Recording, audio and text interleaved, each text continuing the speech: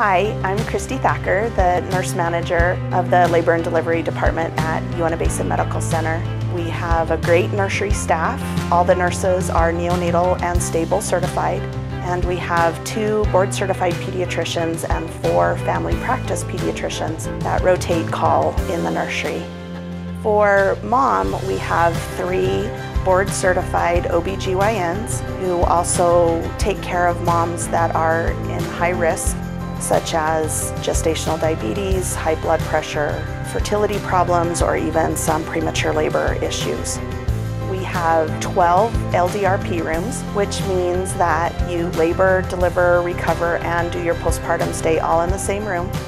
We have five lactation counselors that are here to support moms with breastfeeding. Our unit goal is healthy mom and healthy baby, and we're honored to share that experience with you.